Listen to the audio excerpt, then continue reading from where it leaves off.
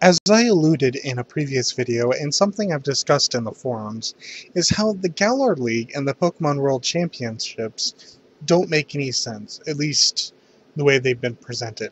This is because Raihan is not only a gym leader in the Galar League, but also in the Master 8 in the Pokemon World Championships in the anime. While it is technically possible that Raihan, Raihan is no longer the gym leader in the anime, we'll go with the simplest assumption and assume that he is, since I'm pretty sure summaries have said that he's he he relates to the Pokemon gym at some point. So anyway, so now let's go over the anime in general and how the games fit into it to explain my confusion of how they royally messed up the anime already and why I think the only way to rectify this is to include the Galar League into the Pokemon World Championships with presumably Raihan not being the actual gym leader or rather the true gym leader whereas Apprentice is the one who pe- one is the one who fights other people to receive a badge, so to speak. Anyway, the games begin with a simple concept. You get you get eight badges and you enter the Pokemon League by challenging the Elite Four. The Elite Four, not four. and you enter the Pokemon League by challenging the Elite Four and then the champion, your rival in the first generation, and random people in later generation. How did the anime follow this? Well, according to people who know Japanese, apparently the writers for the anime have no idea either. And what I mean is, the original assumption was you get the eight badges, you win the anime only style tournament to become champion of that tournament, so to speak, and then you have the right to challenge the Elite Four and champion like it would be in the games. However, that's not actually what happens. In reality, the writers convoluted the issue so much that technically the Elite Four and Champions are completely separate from the badge quest. Thus, the writers have no idea what the hell they're even doing in their series. Now, technically, I could be wrong. I've always argued it was the former assumption, but people who speak Japanese corrected me. Maybe they didn't understand what I was saying. Maybe I used the wrong words. Maybe the assumption I got were was that they were two separate things, or another writer, or in other words, the writers had no clue, have no clue what they're doing. I, I, I don't know, but like I said, I was told that the Elite Four and Champions have nothing to do with the badge quest. If I'm wrong, then I'm blaming people who speak Japanese and apparently did not understand my point in regards to Lucian and any other Elite Four who mentioned the Pokemon League or whatever. See, and so anyway, so this was all ultimately fine for the generations because they all followed the same formula until 7th generation which opted to remove gym badges from the equation, but still hold the traditional game lore of Elite Four and technically a champion. Only for the first time ever, the champion was the player character, and Kukui in the games was the equivalent of red in the first games. However, you being blue and the player character means that, unlike first generation, red was going to lose in this hypothetical example, and thus you don't necessarily beat the champion every time you challenge Elite Four, but rather you defend your title after defeating the Elite Four. What happened in the anime? Well, technically, for the first time, we sort of got a more accurate anime adaptation than the convoluted mess that we've had to deal with in the prior generations. In this context, in the games, as I said, you defeat the Elite Four to become Alola's first champion. In the anime, that's kind of what happened. Instead of an Elite Four, however, the anime we got went with the usual anime, anime style tournament, but the end result was that the same winner became the champion of the Alola League. To be clear, people who speak Japanese have said this weird have said that this weird champion of the Elite Four or the Pokemon League is different than the supposed champion of the Alola League, also known as Ash, is the Alola League champion, but apparently not comparable to Steven, Cynthia, Diantha, Alder, etc., etc. I know it doesn't make any sense, but it's whatever. I don't know what the writers in the anime are doing. I don't know what they were doing. All I see it is some weird convoluted mess. However, the anime made it more like the games by having the biggest match in the 7th generation be between Ash and Kukui, which is what happens in the games when you become champion. Kukui challenges you to ensure that you are more than capable of being the champion, and then the game ends. It was an exact duplicated scenario since the Elite Four technically don't exist in the anime, and it was just an exhibition match and very much like a graduation a graduation ceremony for Ash being in school. But it was still very similar. Then Game Freak ruined everything with 8th generation, or rather the Galar region. And I don't mean in a bad way or good way kind of thing. I'm not saying they ruined that. The, the, what I mean is that they made it confusing even more. Because even though they brought back gym leaders, which why would that be an issue? It's because they decided to adopt the anime style tournament that we're so used to in the anime. So you get eight badges and you participate in the tournament until you challenge the champion. This is highly problematic because it not only removes the Elite Four members completely from the equation, it makes the games a bit more like the anime. In that, when the player character gets all eight badges, they qualify for the Champion Cup, where in the finals apparently you could battle Raihan, Bea, Allister, or Nessa. Presumably speaking, I don't have the game, so I don't know exactly how it is. I, I'm assuming Raihan is your first ever, but then when you go through the game again, maybe that's when you battle Bea, Allister, or Nessa. I'm not sure. But anyway, the point is, then you're qualified for the championship with Leon. Normally, this wouldn't have been a problem, but then here comes the anime writers to just make an even bigger issue. By introducing the concept of Pokemon World Championships, where the strongest trainer apparently is Leon, and also having Raihan being in the Master 8, creates this weird power vacuum in the Galar region, ultimately implying that, well, no one should logically be able to complete the championships in the Galar region. The biggest issue is Raihan, but Leon is also somewhat of an issue, but less so. Now the issue is of course the glaring one. Glaring one. If the anime if the anime is exactly the same, we would see Ash challenging Raihan and beating him and likely losing to Leon if this was truly status quo. The issue is what does that say about Raihan? Remember, Raihan is the gym leader of the Galar region. Even if we assume Galar region has the strongest gym leaders of all other gym leaders, he's still a gym leader. There would just be a huge power vacuum between Ash challenging the first gym leader to Raihan.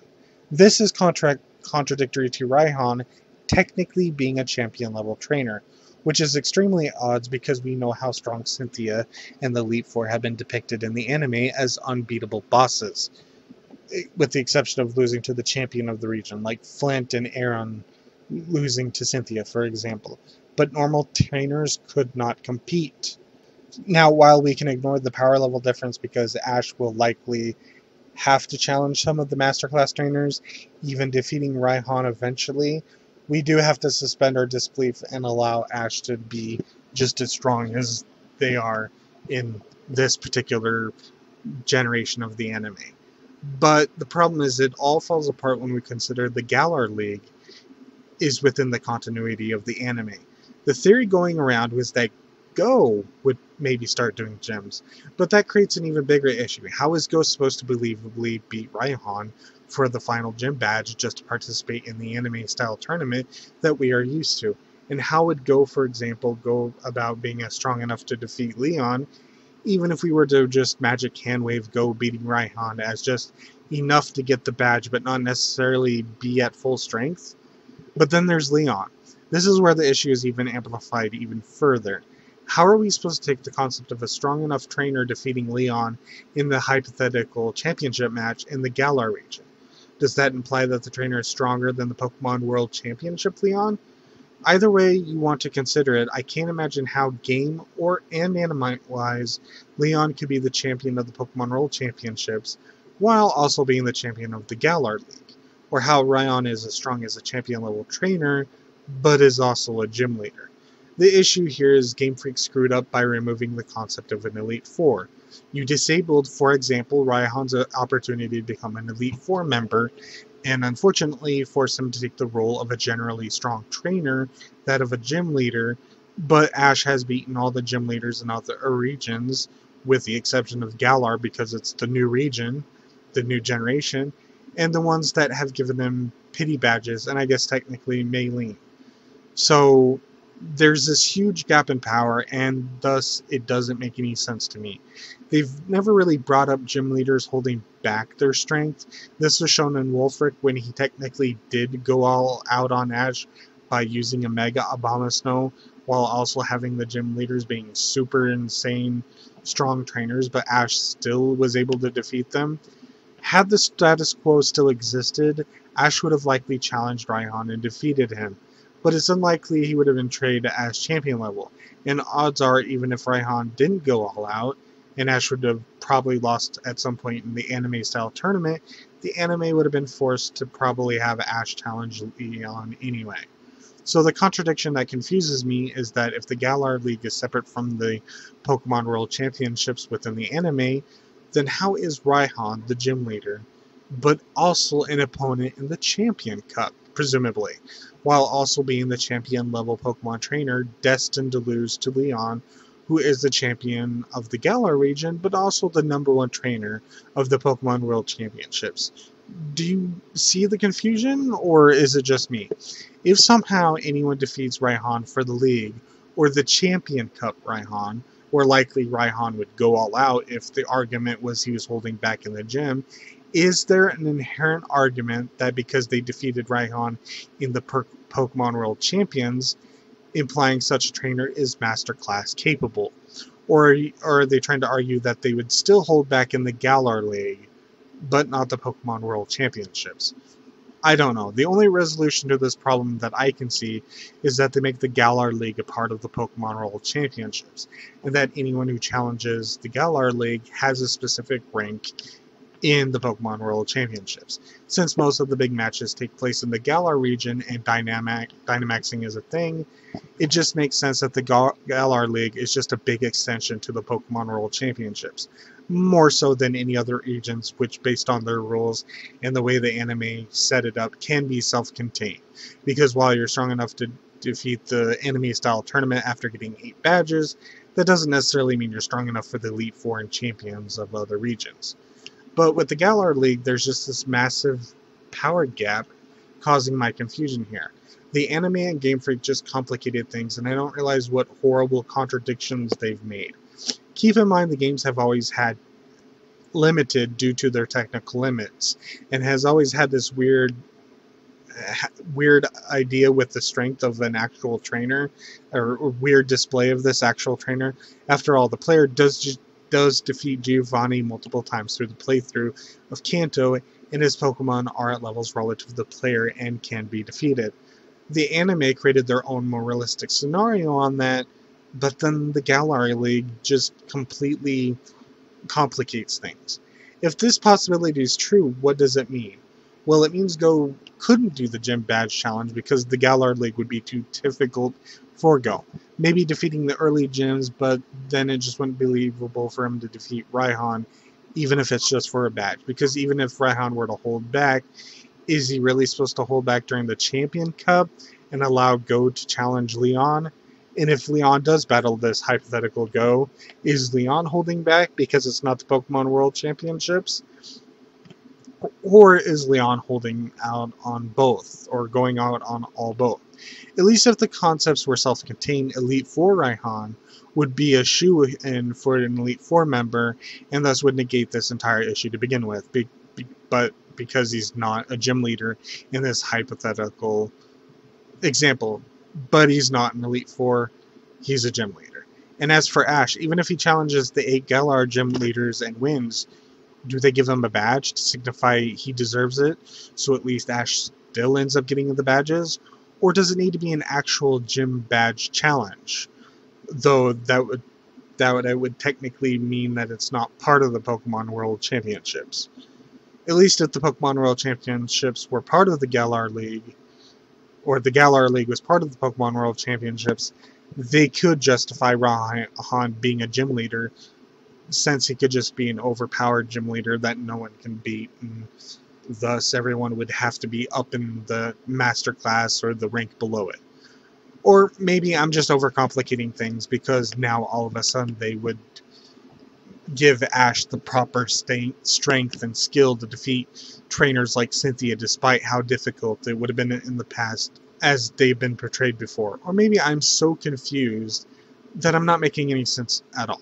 Apologies if that's the case. Like I said, I'm just completely confused as to why both Game Freak and the anime overcomplicated things the way they did. W what do you think? Are you confused as I am? Do you see a solution to this problem? Do you even see a problem? Let me know in the comment section below. There's also one other thing that I neglected to mention in regards to Leon. If Leon is defeated in the championships match of the Galar League, what does that mean? I neglected to mention that up. I think I tried to put that in, but I messed up. But yeah, like Leon is number one in the Pokemon World Championships, right? If Leon is defeated in the Galar League, in the Championship Cup, or whatever, the championship match, what does that mean? Was Leon going all out?